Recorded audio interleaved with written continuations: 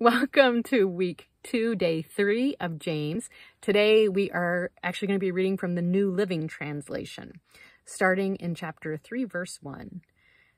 Dear brothers and sisters, not many of you should become teachers in the church, for we who teach will be judged more strictly.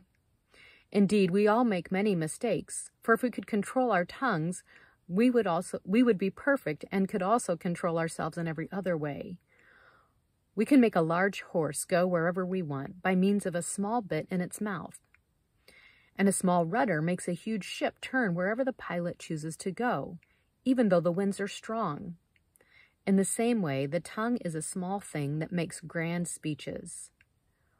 But a tiny spark can set the great forest on fire. And among all the parts of the body, the tongue is a flame of fire. It is a whole world of wickedness corrupting your entire body. It can set your whole life on fire, for it is set on fire by hell itself. Hello. Well, wasn't this an interesting section? Um, I think that what's kind of um, interesting to me about this section is that it never mentions the heart, that it talks about the tongue being of fire and corrupt and set on fire by hell. And, um, but it, it, it never talks about that coming from the heart. Although I'm pretty sure that when I look at Jesus' teachings, that that's what he's talking about is that your tongue comes from what your heart um, believes, that out of the heart speaks the tongue, which we've talked about in some of the other vlogs. Um, so I guess I think that part of what he's saying here, let me know what you think in the comments, is that when you have a, a corruptness in your heart, then um, the first thing, the first place that that's going to show up is going to be in your tongue and what you speak. That's where we're, that's like our first indication before like actions and behaviors a lot of times. You'll see the you'll see it coming out in what we say. So that's like our alert system, right? Is um, we may not catch it in our thoughts, but if we don't catch it in our thoughts, then it will come in our words. But of course, just to try to change your tongue without changing your heart isn't going to get at the heart of the problem. Huh.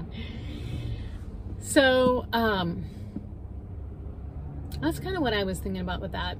One of the things that when I was thinking about where in my life do I see my tongue being a problem, uh, especially, you know, I did the last 24 hours thing and looked at my life broadly. One of the things that I thought about was um, one of the complaints I get from people I live with is uh, my tone. I mean, sometimes it's certainly more than my tone, but for me, that's one of the places that it shows up first is in my tone. And unfortunately, I don't, I'm not even always aware of my tone, which means I'm not aware of what's going on in my heart.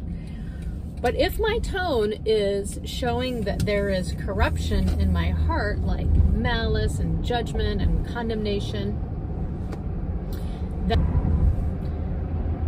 then I need to think about that because that means that my tone is showing basically the the fires of hell are setting um, these these condemning thoughts in my heart, and I need to be really open my eyes to be aware of those, um, so that Satan's not having his way in my heart. So those are some of my thoughts from today. I would love to hear your thoughts. Um, I will throw this in there because it's kind of an interesting side note. I was talking to Pastor Todd before we started, James, and he was telling me that um, James is so focused on the on the work side versus the faith side that Martin Luther didn't even want to include it in the canon of the Bible.